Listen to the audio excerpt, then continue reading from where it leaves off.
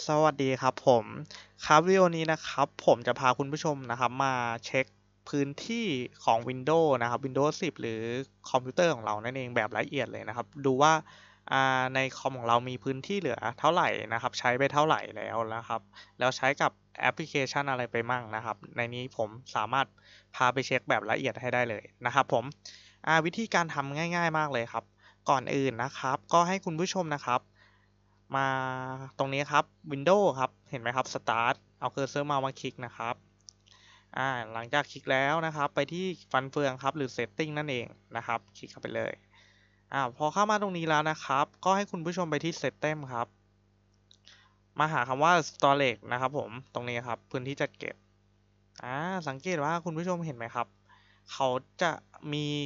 การบอกเลยนะครับว่าเรามีพื้นที่เท่าไหร่นะครับเนี่ยของผมมีอยู่ 251 GB นะครับ g b ผมใช้ไปแล้ว 79.9 GB นะครับ เหลืออยู่ 171 GB นะครับผมอ่าแล้วข้างบนนี้ครับอ่าเดี๋ยวคอยดูนะครับ อันนี้คือ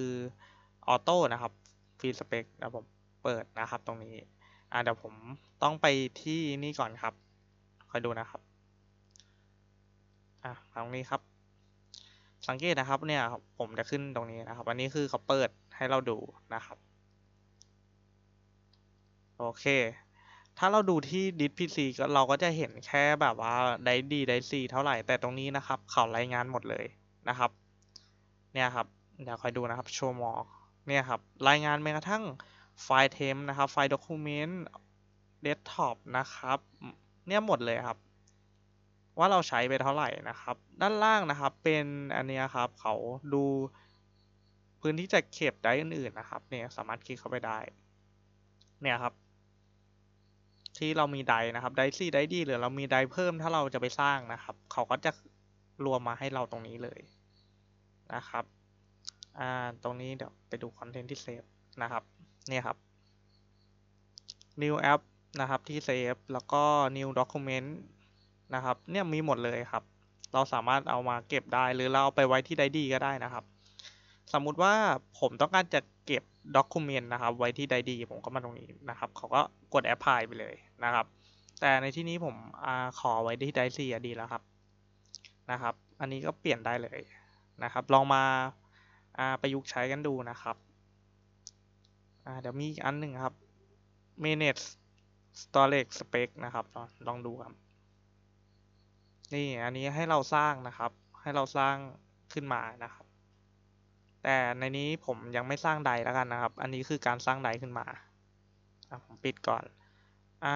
optimize นะครับ อันนี้ ให้เราจัดเรียงนะครับ หมายถึงว่าเราใช้พื้นที่อ่าเราใช้คอมไปสักพักหนึ่งเราต้องมาจัดเรียงข้อมูลนะครับ บางทีเราใช้ไปนานๆนะครับ ข้อมูลมันอาจจะเรียงกันมั่วซั่วนะครับ แล้วจะทำให้เครื่องของเรามี อ่า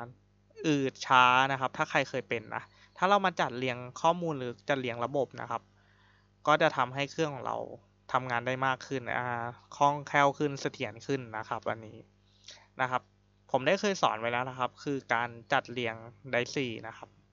หรือจัดเรียงคอมพิวเตอร์นั่นเองที่เขาเรียกกันเนาะ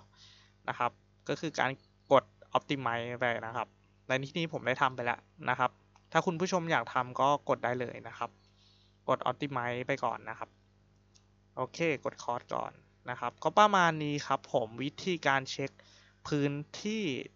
จัดเก็บของ Windows 10 นะครับ หรือในคอมพิวเตอร์ของเรานั่นเองนะครับ สามารถเช็คได้ทั้งคอมแล้วก็โน้ตบุ๊กนะครับ เหมือนกันเลยวิธีนี้นะครับ ลองมาดูนะครับ อันนี้ก็เป็นเทคนิคนะครับในการเช็คดูว่าพื้นที่จัดเก็บของ Windows ของเรานะครับ แบบละเอียดเลยนะครับผมปกติเราดูได้แค่ This PC ถูกไหม พอเราดูแค่ This PC เราก็จะรู้ได้แค่ไดดีไดซีแค่นั้น แต่ถ้าเรามาตรง storage ตรงนี้นะครับ เราสามารถดูได้แม้กระทั่งนะครับ ไฟล์ต่างๆนะครับ ไฟล์ temp ไฟล์ document หรือเดสก์ท็อปนะครับ ว่าใช้ไปเท่าไหร่นะครับ เราสามารถมาไอ้นั่นได้ครับ มาดูได้ทั้งหมดเลยนะครับ เราก็จะได้รู้ว่าพื้นที่จัดเก็บของคอมพิวเตอร์ของเรามีเท่าไหร่นะครับ เราได้คำนวณถูกเราจะได้บริหารทรัพยากรในเครื่องได้นะครับผม อันนี้ก็เป็นวิธีง่ายๆนะครับผมที่ทาง NN สอนคอมพิวเตอร์มาแนะนำกันนะครับสำหรับผู้ที่ยังไม่รู้หรือยังเพิ่งเข้ามาเล่น Windows ใหม่ๆนะครับ หรือใครรู้แล้วก็ไม่เป็นไรครับ อันนี้ดูเพื่อเป็นความรู้ได้นะครับผม โอเคครับ ก็คลิปวิดีโอก็ประมาณนี้ครับ ถ้าชอบยังไงก็ฝากกดไลค์ กดแชร์ กด subscribe กันด้วยนะครับ ที่สำคัญ นะครับ อย่าลืมแชร์ให้ผู้อื่นได้รับทราบด้วยนะครับ รับรู้ด้วยนะครับ เพื่อที่จะแบ่งปันความรู้ต่างๆ ให้คนอื่นนะครับ ที่เขายังไม่รู้นะครับ หลาย ๆ ท่านผมเชื่อว่ายังไม่ได้ทราทราบนะครับ วิธีการเช็คนะครับ ว่าพื้นที่ในคอมเหลือเท่าไหร่นะครับ ก็ช่วยแบ่งปันกันด้วยนะครับ แล้วก็ที่สำคัญนะครับ ก็ถ้าใครมีความรู้นะครับใหม่ๆนะครับ สามารถมาแบ่งปันแชร์กันได้นะครับ ผมมีกลุ่มนะครับ ที่เกี่ยวกับแชร์ความรู้ด้านไอทีนะครับ ทุกอย่างเลยครับทั้งแอปพลิเคชัน ทุกอย่างเกี่ยวกับทางด้านไอทีนะครับคอมพิวเตอร์มือถือนะครับ มาแบ่งปันกันได้ในกลุ่มนะครับ ช่วยกันแชร์นะครับ เพราะว่าเทคโนโลยีนะครับกระก้าวกระโดดมากนะครับความรู้เราต้องศึกษากันเรื่อยๆครับไม่มีหยุดเลยนะครับ ก็บางทีผมก็อาจจะทราบบางส่วน แต่บางส่วนผมยังไม่ทราบก็ ถ้าใครทราบก็ช่วยกันแบ่งปันความรู้ตรงนี้ด้วยเนาะนะครับ เพื่อมาเป็นครอบครัวเดียวกันนะครับ โอเคครับผม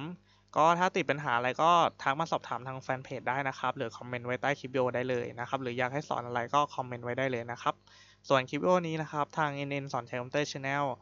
สวัสดีครับ